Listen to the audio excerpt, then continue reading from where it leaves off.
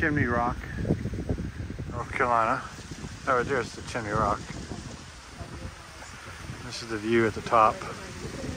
Pretty good little hike up.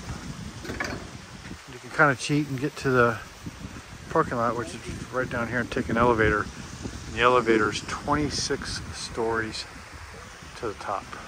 32 second ride. Lots of whitewater rafting. The river down there that opens up to the lake.